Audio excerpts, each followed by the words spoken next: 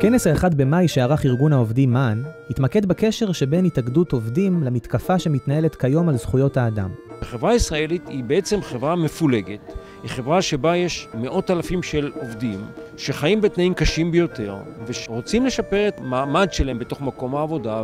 האם אפשר להעלות על הדעת שארגון עובדים, ארגון חברתי, שמגן על זכויות עובדים, יפעל כאילו שום דבר לא קורה, כאילו אין מלחמה, כאילו אין כיבוש, כאילו אין גזענות, כאילו אין הסתה. التعاونية هي مشروع اجتماعي.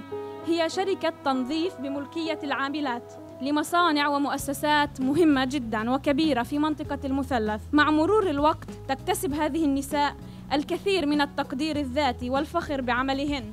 بحنا يفكرنا كصاحبات عمل وليس كعاملات أجيرات مستغلات كما هو الحال في فرع التنظيف. كنا العمال ما بياخذوا نهائيا في الأجور.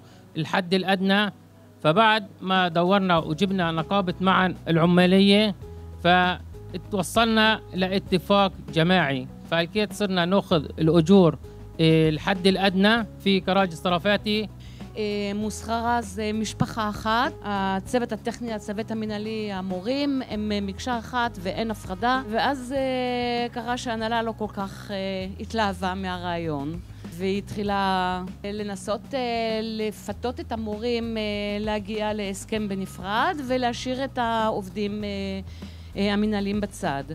ואנחנו באמת עמדנו על הרגליים האחוריות. בסופו של דבר העובדים שרצו להצטרף מוגנים על ידי מען. לכנס הגיעו עובדים המאוגדים במען, במגוון ענפי תעסוקה, יהודים וערבים מישראל ומהגדה.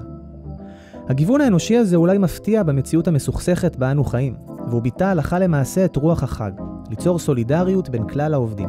לייצר ועד שבעצם מאגד ביחד את העובדים במשרד, שהם גם פלסטינים וגם ישראלים, וגם את העובדים בשטח, מבעד לגדרות, מבעד לאיים הטריטוריאליים שישראל מייעדת להם ברחבי הגדה. איגוד העובדים הוא חייב לראות את עצמו ככוח מוביל לשינוי חברתי. אחרת אין לו קיום, אחרת אין משמעות לקיום שלו, הוא הופך להיות עוד קבוצה אינטרסנטית.